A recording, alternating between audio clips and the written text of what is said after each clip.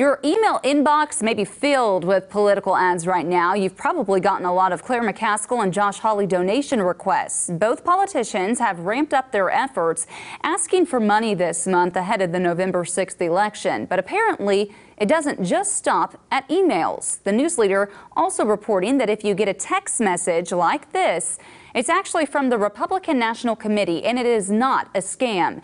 It says President Trump needs your help to vote for the GOP and to confirm your polling place.